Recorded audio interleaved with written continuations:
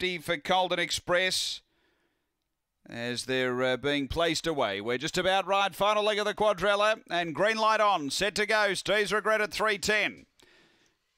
We're ready. They're set and racing. Speed from Spring Bonnie early. Steve's Regret goes quickly with Colden Express and out deeper Miss Graphite down the back. Steve's Regret takes the lead over Spring Bonnie. Then came Colden Express, Miss Graphite. Next to Dakota Hummer. Then serving Soldier Emily Sharon and Escape in up to the turn. Steve's Regret being tackled by Colden Express. Steve's Regret lifts though. Steve's Regret brings up the double for Herman. Second either Colden Express or Spring Bonnie and then Dakota Hummer. Uh, next is Serving Soldier from Emily Sharon, Miss Graphite and Escape in. The time here is 22 and 79. Number four, Steve's Regret.